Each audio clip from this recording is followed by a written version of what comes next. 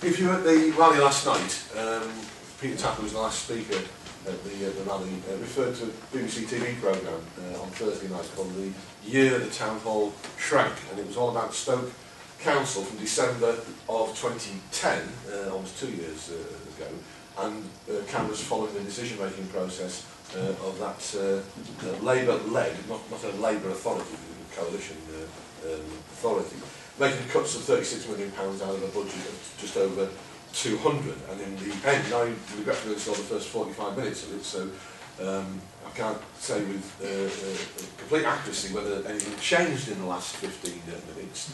But despite making a decision to close care homes, uh, swimming pools, um, uh, libraries um, there was no dissenting voice from any elected politician in that uh, film uh, about uh, resisting the cuts merely in the political impact of whether or not they carried out specific cuts. For example, there was quite a big campaign of parents against uh, nursery closures, so they debated whether or not it was politically expedient to uh, carry out those cuts, but not the resistance uh, of the cuts uh, generally. I suspect across uh, the country as a whole over the last two, two and a half years, there have been hundreds of Labour groups meeting and having similar uh, debates. Uh, regretfully, uh, there are hundreds of thousands of uh, jobs which are gone or are going in those authorities. The services relied uh, upon by millions of people are being affected and billions of pounds which otherwise would have been spent in local uh, economies um, have been lost by job losses, by purchasing uh,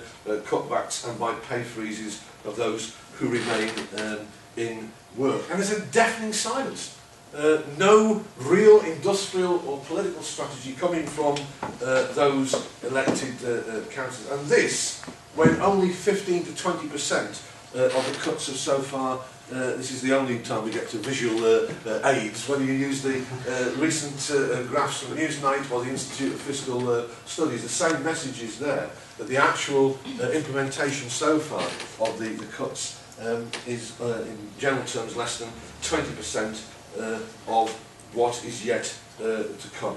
The programme started with the famous George Osborne's We're All In Together, um, and the only general points I want to make before the specifics of what the meeting is about, but clearly that isn't the case. Um, over the period of the last 15 years, chief executives of the top 100 companies in this country have seen their pay go from an average 45 times the average wage in those com uh, companies to now 120 times the average wage in those companies. Over the exact same period, the average wages of 18 to 21 year olds, uh, according to last week's uh, Economist, has fallen in real terms by 10%. Not tripled like the leaders of those companies, but fallen in real uh, terms. Perhaps a more apposite uh, contrast, given the topic of the, the, the meeting, is Coventry, my uh, local authority, charged with making 140 million pounds worth of cuts during the life of this uh, uh, parliament has so far uh, got rid of about 700 uh, jobs, closed uh, uh, nurseries and other uh, uh, services. Less than two miles away from where we're meeting here today, on the corner of Hyde Park, is a newish block of flats, a six-bedroomed penthouse suite of which, at one Hyde Park, sold just under a year ago for 140 million pounds. And what sort of society is it that says that the services and jobs of hundreds of people in the Coventry that provide uh, essential services for thousands of local uh, uh, people have to be cut, whilst that society also says it's okay for one family to buy a second, third or fourth home in uh, London, costing exactly the same as a city of a third of a million people is losing in cost. So what should councillors do when faced with uh, these horrendous uh, job losses and service cuts? It's not an abstract question. Clearly on Tory or Liberal Democrat-led authorities, you'd expect every Labour or other opposition party uh, uh, representative to oppose the, uh, the cuts. But what should they do uh, in the way in which the meeting uh, today has been uh, uh, introduced, uh, where Labour itself is in control? Now, we're not the first generation to have faced uh, this uh, problem.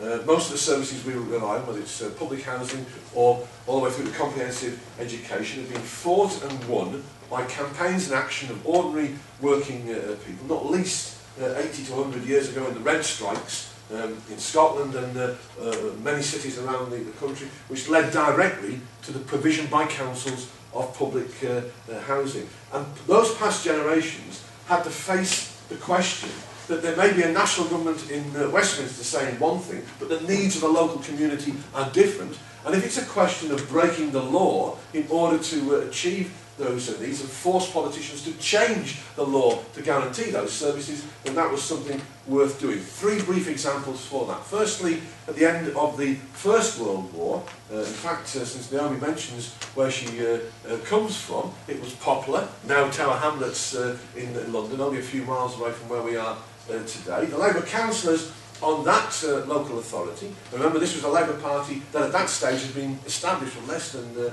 20 years, um, brought in equal pay and minimum wage for effectively council workers and were faced with the choice of having to abandon that strategy or raise local rates in order to pay for it, um, not dissimilar to some of today's debates in local authorities. Now the detail about the precepts and uh, the, the, the poorer and richer boroughs across London you ought to read up on, and there's a book by Noreen Branson uh, on Poplarism which is well worth um, a, a, a read. But those Labour councillors decided to refuse to do either. Not to cut the wages, nor to put the, the burden on local people by raising the rates. 30 of them were in prison. They ran their council from their prison uh, uh, cells. Mass action and demonstrations were organised in the, uh, the area, and as often happens in these cases, what was achieved on the streets outside of Parliament was later codified in Parliament itself, when a, a bill was rushed through Parliament to equalise the contribution of London boroughs uh, towards uh, services, and those councillors were released, and their leader, George Lansbury, went on to become the leader of the Labour Party. A bit more up to date in the early 70s, um, Edward Heath, Tory Prime Minister, Housing Finance Act of 1972, Little Village in Derbyshire, Clay Cross, they brought in better uh, conditions and wages council uh, uh, workers, and they were told that they had to raise the rents on people to pay for those. Uh, they refused to do either the cutting of the wages or the raising of the, uh, the, the rents. The Tory government of the day surcharged and banned them from uh, office. And if anybody's seen the famous uh, film Spartacus, if you haven't, the book's on sale in the bookshop uh, uh, two floors uh, below us, by the, uh, by the way. When those uh, uh, councillors were, were uh, banned from the office, the villages of that area of Derbyshire responded in a Spartacus moment and there were queues of people saying, we'll stand as councillors in order to carry on the same project. Now, because of local authority reorganisation, the board report in 1974, that particular council was uh, subsumed within Derbyshire uh, County Council, but the point still remains, people were prepared to stand and be uh, counted, local people supported them. And then, finally, and Harry will give you far much more detail on this so-called rate rebellions of the 1980s. 20 Labour councillors started resisting Thatcher. At the end of this process, by 86, 87, only two, Lambeth and Liverpool, were, uh, were left. But in the case of Liverpool, the very act of resistance and fighting won concessions which are still there in the bricks and mortar of the sports centres, the parks and the thousands of houses that were created. So job cuts, wage freezes, deteriorating uh, services, faced by previous generations of labour uh, and trade union activists, but unlike today's elected politicians, in Birmingham where a week ago they're talking about decommissioning whole weight swathes of services and either no longer running them or putting them out to the private sector. Or in Coventry, where through voluntary retirement and uh, uh, uh voluntary redundancy and early retirement, hundreds of jobs have gone. Or Barnsley, where workers have been sacked and rehired on new, worse conditions. Today's uh, Labour leaders, what we saw in Poplar, Clay Cross and Liverpool was genuine resistance to those uh, cuts. Now, there's no guarantee if you fight that you win. But if you don't fight, you get rolled over and past generations decided it was worth uh, uh, uh, fighting. Today's councillors aren't themselves powerless. There are many ways in which, even with restrictions placed upon them, they could find points of, uh, of resistance, of, of support. For example, Labour councillors could have uh, decided that when EMA has disappeared because of, of a, uh, a national decision of, of the government, they would take, uh, probably in most cases locally, a few hundred thousand pounds from reserves to pay uh, EMA for an extra a, a year, in return of saying to all those young people, we now need a mass campaign in our town and our city to demand from the government they continue the, the funding. The same point could be made um, with Gove, uh, even with the change legislation, trying to force uh, uh, academies uh, in, or in the next uh, few months when local authorities take over new uh, functions, whether it's uh, taking over the social fund and the DWP, taking over on a local-based uh, uh, council tax rebate instead of council tax benefit, which is nationally uh, uh, set, all the changes to uh, uh, uh, tenancy uh, agreements. There are loads of different ways in which local Labour authorities could resist those uh, things and build campaigns which had the, the, the, the, the welcome effect of unity between the staff providing a service, the, uh, the users of that service in the, uh, the communities, and wider uh, people who want to resist the, uh, the, the, cuts. And if only one council took a stand on something like that, you can imagine the electrification of politics that would uh, take place uh, from that.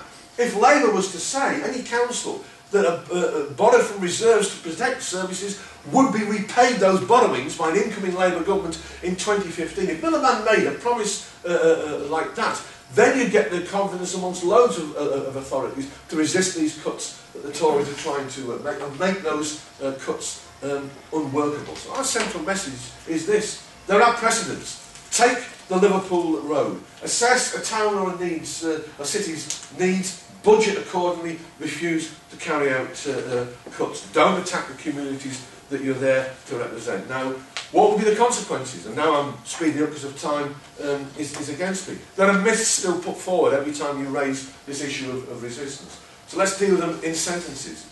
Councillors today can't be imprisoned like Poplar councillors.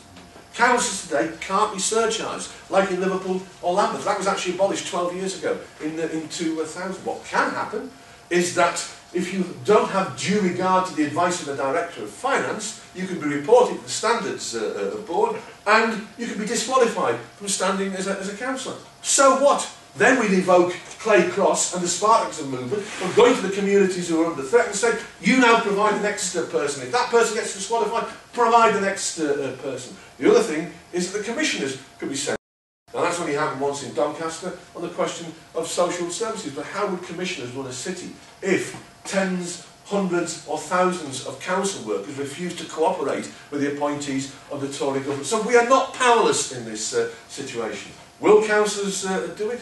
Well, it doesn't look uh, uh, promising at the, uh, the moment. I haven't got time to deal, I hope there's somebody here from Brighton who can uh, deal with the Greens. I haven't got time to deal with the question of whether uh, any other opposition uh, councils would resist cuts. As I say, it's not hopeful. But of the thousands of Labour councils, you can name them on, the, on one hand what's happened. There's a resignation in, uh, in Barking. There was a suspension in, uh, in Lambeth, but that uh, uh, has now gone back into the Labour group. There was a resignation in, uh, in York. It was actually a Tory deputy leader down in Devon who, uh, who resigned uh, his position over the cuts. And then there's the best example of Don and, uh, and Keith from uh, Southampton, um, who have formed a group of Labour councillors against the, uh, the, the cuts and made a marvellous and substantial donation last night in the, in the collection for the Socialist uh, uh, Party, if you were uh, present in that, uh, that uh, rally. What do we, we, this is where I'll, I'll, I'll fit, what do we do then if uh, that is not uh, forthcoming, if there are not uh, uh, Labour councillors who are uh, stepping up to the, uh, the, the breach. Clearly we need a, a twin strategy. I haven't got time to deal with the industrial uh, side of uh, uh, the, the need for the, the TUC to uh, unite the inevitable struggles that are going to come from uh, everybody from teachers through to PCS members who are going into struggle next two or three year months. They set the same date for their uh, struggle and then the TUC took that motion from the Brighton uh, conference and appealed for uh, national uh, support, industrial action in support of those uh, uh, struggles. You would have the beginnings of a national general, one-day general uh, strike, which is so uh, uh, essential. But if that does not uh, happen, we also need a political alternative to the cuts, particularly coming up uh, in, uh, in, in May, when there are uh, elections taking place in 35 uh, local authorities in uh, England and in Anglesey in uh, uh, Wales, and a number of uh, mayoral uh, uh, elections in Doncaster and other uh, places. Two and a half thousand uh, seats. Now, the Trade Unions and Socialist Coalition, of which I'm the chair, has stood uh, in council elections uh, about 140 this year, 170 um, last year, getting an average of 5.2% in 2011, 6.2% in 2012. In those seats where we stood the same seat in both elections, 2011 2012, an average of 7%, getting uh, uh, individuals elected in Walsall and in, uh, in, in Preston, but at that very early stage, uh, because of a lack of visibility, particularly when it comes to coverage of uh, elections taking place. So we've taken a decision for the next elections in May 2013 to try and stand at least 400 candidates around the, uh, country, because that's the 15% of the 2,500 seats up for election, which the BBC, over which the BBC will then guarantee some form of, uh, of, of, of coverage. I haven't got the time to, I'm presuming most people here are familiar with, with TUSC. If you're not, then give me your email at the end of uh, today. I, I spoke at an RMT political uh, training school about 10 days ago and, provide, and produced for them a pack which has got the history of TUSC, policies for the council elections, application forms to become a council candidate, fundraising uh, uh, material, articles from uh, Alex Gordon, the President of the RMT, etc. And if anybody would like that sending uh, uh, to them to use uh, locally, give me an email at the end of the uh, uh, session and I'll, uh, I'll do that uh, uh, for you. We will be unable, however, um, to complete the necessary uh, uh, work of providing a political alternative that at the very least would force the debate to the left uh, within uh, uh, council and other uh, elections because at the moment uh, you turn on Newsnight or any other uh, uh, uh, programme and uh, everyone, including regretfully the, the, the, the journalists who are doing the interviewing well, start from the premise cuts have to be uh, made, of course, don't they? And then there's, there's, a, there's, a, there's a, a small debate on the margins about the speed, not about the direction of austerity uh, itself. And if we're to drag that debate to the left,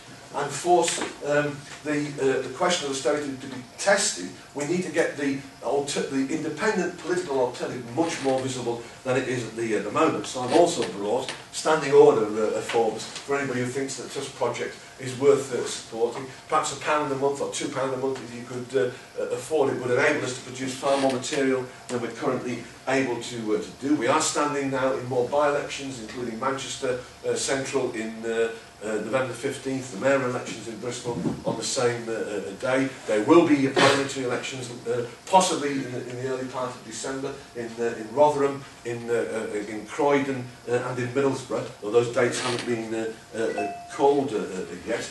And to finish, comrades, um, the Socialist Party, within our work within the Trade Unions and Socialist Coalition, believe that there needs to be much more uh, stiffened resistance against the cuts that are taking place in local authority uh, uh, services. And frankly, we should be saying to uh, uh, uh, Labour councillors in areas where we are, either you sign some form of, of pledge, such as the eight points on the TUSC 2013 local council election uh, uh, policy, which is we will refuse to pay the uh, cuts, refuse to pass the costs on to local communities, etc., etc. You can read the detail of it, or stand aside because TUSC will uh, uh, seek to look to trade union organisations and working class uh, uh, activists to put up uh, alternative uh, uh, candidates. Anything less than that will result in a division taking place between those who rely on services provided by local authorities and those who work providing those services as jobs or services becomes the only option that uh, uh, Labour controlled authorities are put in front of, uh, of, of people. We believe in that spirit of popular whose slogan, by the way, was it's better to break the law than to break the, uh, the poor. We believe in building a mass campaign to take the Liverpool road, which Harry is now about to give uh, detailed examples uh, to you. But if we're to get uh, along that uh, path, then we need uh, far more uh, resources bringing to this campaign. This is the most serious left political alternative being built in Britain today. It has the official support of the RMT at its conference in Torquay in June. You heard at the rally last night, it has from the Assistant General Secretary of the POA, and I, and I, and I, I believe from the General Secretary Steve Gillan as well, an intention to take to the POA conference next year to get official support for this campaign. It has individuals from unions which are not affiliated to Labour, like the Fire Brigades Union, the PCS, the NUT, involved in its national uh, uh, steering committee. It's committed to challenging the overlapping agenda of the establishment parties on austerity by building a new political alternative uh, that's rooted in the organisations and communities of the working class of this uh, uh, country. Nothing less than that can uh, do the job of resisting the, uh, the cuts and the plans of austerity. Thanks so much for listening.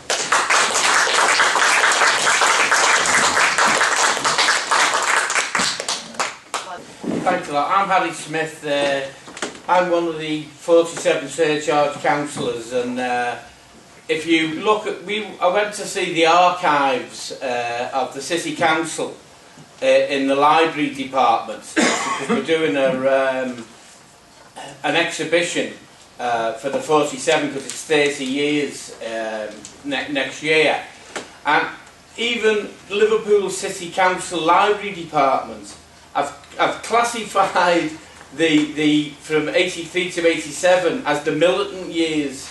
Now, it's not the Liverpool City Council in that period, even the City Council call it the militant years.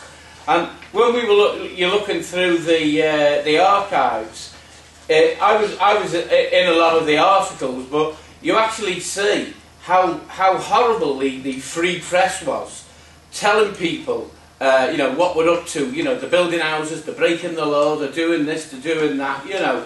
And we, uh, we, we set up ourselves our own paper uh, called Not the Echo. But the, the thing which I think people have got to realise here, the, the 47 didn't just appear uh, by magic, and it wasn't just a group of people who, who just happened to be on the council and decided to have a go. Over many years, 20, 30 years before, militant supporters and good lefts on the, uh, in the Labour Party took over the district Labour Party and everybody used to get interviewed and you were asked uh, a number of questions, you know, but basic things like uh, what's the policy making body of for the Labour group? And if you said, well, the Labour group, you didn't get on the, on the panel, so you didn't get elected. But if you said the District Labour Party, you, went, you, you know, you, you, you'd go on it because the, the, the, the rules were that the DLP did make the policy for the council, but the council decided at what period, uh, what time they would take to implement it. So they could accept the, the, the policy and take 100 years to, you know, you know, to implement it. But what we had on the, uh, in the, the Labour group, we ended up with 49, sadly, before we were surcharged, two, two, two died, so it was 47 uh, that was actually surcharged. And we see like an organisation uh, like that we're in today, how you can, you know, have influence and power. Out of that Labour group, there was only 11 militant supporters, and I'm happy to say that I was one of them. So there was 11 out of 47 that basically went along uh, to, to the Labour group and showed many of them up, but a lot of them didn't need it, to be fair. They were, you know, they were willing to have a go. Because in the past years, they had tried things like the Labour group in 1979 actually put up a 50... Um, 50% rate rise, and we, we as, a, as a, a group, the militants, were saying this is mad putting the, the, the rates up. And what happened was, in 1980, I got elected in 1980, because we were in what would be considered the safe Labour seats. The, the electorate basically turned round and said, you know, you're not on. And Labour suffered badly and didn't take control in 1980. Now, with the county council elections and what have you, it was something like, it was only in 1983 that we actually took control. Well, a lot of people didn't realise what the implication of that was, but being a, a militant supporter and going to branch meetings every week and discussing, I knew exactly what that meant. And I'll, I'll admit that uh, when we were in the Woolton Labour Club and the votes were coming in and we realised we took overall control, I went, oh. Like everyone's running around cheering, and I knew it was, if we could carry the Labour group, it probably would meant eight yards. You know, so, but I, I, and I went, ooh, bloody hell, here we go. Because I knew what the implications was. And luckily for, for, for, for everyone, if you like, it, we, we did manage to carry the day. And I think what you've got, you've got to realise what we were up against at that time. It wasn't just Thatcher we were up against, it was the Labour Party. And what's been said was, we were actually the only Labour group in the country that was carrying out uh, Labour Party policy the conference had passed what we were doing, and everyone else, uh, you know, were, were, basically going along with the cuts and, and carrying the cuts out. Now, a lot of the prominent members of the, the original group of, of, of councillors that were fighting the cuts, uh, they bottled out, but by magic, they all ended up in the Houses of Parliament, so you've got to work out, uh, you know, what, what, what, what that basically was in the end. But what just in, in Liverpool, we were doing things like building more council houses than the rest of the country put together. Now, the facility was there. Other councils could have done it if they wanted to. But you'd see the Liverpool Echo and, and, and you know, Conry Kinnock saying things like, uh, they're borrowing money off foreign banks. Everybody borrowed money off foreign banks. And believe me, the bankers were queuing up outside the municipal buildings wanting to lend money to, local, you know, to, to, to a local authority at that time. And we ended up, we ended up, like, in the end, the district had come in, and people, uh, uh, mostly Labour Party members, uh, were saying to the district auditor, have a look at this, have a look at that, have a look at that. And he did a report saying that the money that Liverpool City Council borrowed was probably the best deal of any local authority you know, in the country. And we, we, we, we had a, a, a team of knowledgeable people who were doing things. And one thing we did, we had council um, mortgages. When people had bought council houses, they got the mortgages off us. Well, that money's just laying in a trough doing nothing. And we worked out that you could sell the mortgages, and we sold them to the Bank of France, like, which is the Bank of England. We kept complete control of them, but we just got the money that we could put into, into, into a capital thing. And we realised it'd be a bit, a bit awkward. We waited till five o'clock Friday night to do it. Uh, and, and it went through, and we got the money to build more houses. By Monday morning, that was illegal. the Tory government over the weekend made that illegal. And on Monday morning, we were getting phone calls of just about every council in the country, Tory, Liberal, Labour council saying, how did you do that? You know, give us the details. But by the time uh, we got the phone calls, it was actually illegal. So that's one thing. If someone, if an MP tells you that if you're asking for wheelchair access, or you're asking for a, a, the law to be changed, and they'll tell you it takes years to bring laws in, it takes a weekend, when there's no one in Parliament. If they want it to be law, it will, you know, it will be law. Um, we, we, a number of us uh, in this period uh, were getting expelled. As it happened, I was one of 13 who went down, and I was the one that never got expelled, but uh, I, I left. I just, I just voluntarily left at the end. It, it was just, uh, it was just that bad. But you see the way uh, you, you have the Labour Party. You've got like a bureaucratic thing. What happened was we, we, we were going to the local government um, uh, conference in Nottingham, and I went from the DLP. I went from the floor of the DLP. But on my stuff, they sent me a Councillor Harry Smith. So when I went to uh, to put me thing in, they went, oh, there's a problem with this. Uh, it's, it's, it's irregular. You should be with the councillors. I went, no, I'm from the DLP. No, no, no. So someone come to explain to me, I am a councillor, but I'm from the floor of the... Well, that's never been known before. I said, well, I said, well, that's. That's your problem, isn't it? Not mine. And in the end, they let me in. But they couldn't work out how a councillor would come from the floor of the DLP. They just thought it was a... They were just, you know, just just completely uh, two separate organisations. But in, in Liverpool at the time, the, the, the Labour group was no different than the rest of the, of the DLP, and there was no, uh, the, you know, the, the, there was absolutely no, no difference. And we're talking about the time, the DLP and some of the meetings, if there was things to be decided, we were getting 400, 400 delegates and visitors uh, to our uh, to, to our, our, our meetings. Now I was speaking around the country, and I was going to some DLPs, and I was amazed that there were six or seven people attending their DLPs. In the end, one of the things we were charged with was there was too much influence in, with the DLP. We were taking too, you know, taking too, too, too much notice of the, uh, you know, of, of the DLP. But even now, we see uh, the trade union movement, the, the leaders, like supporting cut councils that, that, are, that are making cuts. We see my, you know, Len McCluskey, my old general secretary, we went to a meeting, a few of us went to a meeting for uh, Get Back in the Labour Party.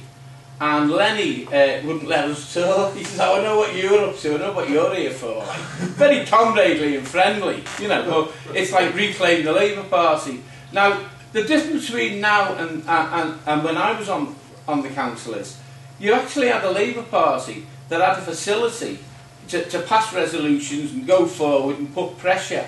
What they've actually done with the Labour Party now, they've taken all that away.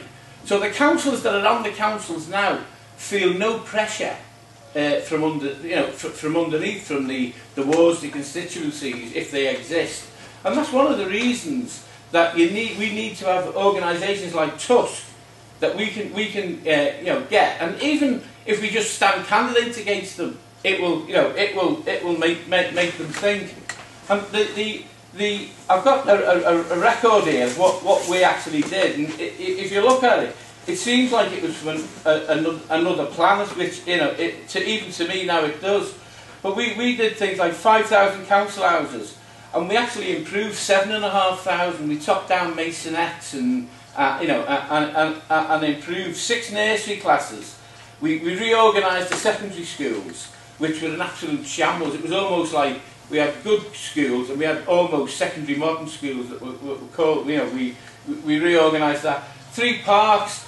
We were the first authorities in Victorian times to open open parks, and this Labour Council now are actually talking about uh, selling some of them off, you know, to build on them. And, and when I, I turn up at meetings, it makes people very uncomfortable. and the, the, the, the Lord Mayor, like, for some reason, he just won't even look at me. It's almost as if he's scared, you know, he's scared of me. And when I confront some of them, they say things like, well, I'll get thrown off the council. I said, well, if you vote for the cuts, what's the point in being there? You might as well get thrown off unless someone else on. But there's also a difference now. Some of them are making quite a few bob out of being uh, being on the council, and there's a there's a woman who's literally uh, just joined uh, joined the, the, the Socialist Party, uh, and she does a bit of research, and she keeps putting on Facebook and that what some of these people are getting, and I, I don't want to be unkind, but some of them are, are basically thick, you know, and they're picking up sixty grand a year, you know where it's uh, you know it's like and what they're doing is they're looking after their allowances rather than the the, the people uh, in the areas where they are. Now you know that's one thing about when, when I when I was on the council, the allowances weren't very good. But what we did, we used to get um, chairman's allowances, which were a few thousand pounds depending on what, what you were on. Well, that was every penny that was donated back to the Labour Party. And that's what we use to print the not the echo, uh, not not the echo, not the echo paper. We, uh, we, we just one thing that Dave said about the greens. What are the greens like? There's only two greens in Liverpool. And at a rally, when people were, were, were like saying, "Oh, the cuts are terrible, aren't they?" The two green, the two green candidates, they're, they're so thick, if you like. Well, there's no alternative. You've got to accept the cuts. But you can imagine the meeting just exploded, you know, and you think anyone would just sit there and say nothing rather than say that. But when we look at Brighton and we see what the Greens are up to, they're, they're just another, you know, they pretend to be just another capitalist party, um, you know, and that's it. So I think, uh, I think that's probably uh, enough really. So, yeah. so if I've missed anything out, someone can maybe ask me questions.